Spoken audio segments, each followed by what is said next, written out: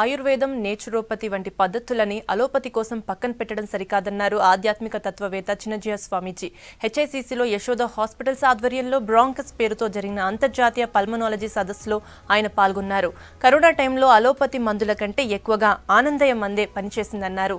రెండు రోజుల పాటు జరిగిన ఈ కాన్ఫరెన్స్లో వివిధ దేశాలకు చెందిన డాక్టర్లు వైద్య విద్యార్థులు పాల్గొన్నట్లు ఆర్గనైజర్స్ తెలిపారు.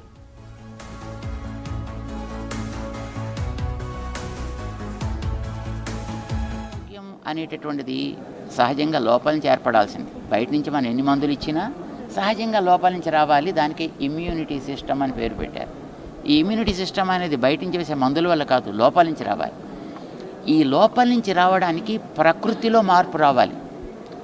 అందుకోసమే భగవంతుడు మనిషికి తను తినే తిండితో పాటు అప్పుడప్పుడు ఏవైనా కొన్ని ఇబ్బందులు ఏర్పడితే సరి చేసుకునేటటువంటి వసతులు కూడా ప్రకృతిలోనే ఇచ్చాడు.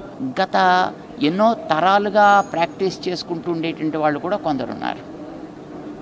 అలా ఎక్కడైనా ఏదైనా ఒక సిస్టమ్ పనిచేస్తూ ఉండేటప్పుడు ఆ సిస్టమ్ని ఇది మా పుస్తకాల్లో లేదు కనుక మేము దీన్ని అంగీకరించాం అని తోసి పారవేయకుండా దాన్ని కూడా అంగీకరిస్తూ అయితే దాని వెంటనే అమలు పరచక్కర్లేదు.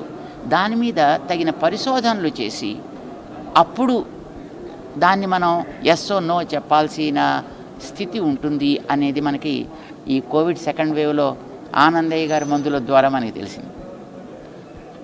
ఎక్కడెక్కడ ఏ రకమైన మంచి ఉందో అది ఏ సిస్టమ్ అయినా కావచ్చు దాన్ని మనం కాదు అనొద్దు అంగీకరించనవద్దు కానీ అది ఎలా పనిచేస్తోంది?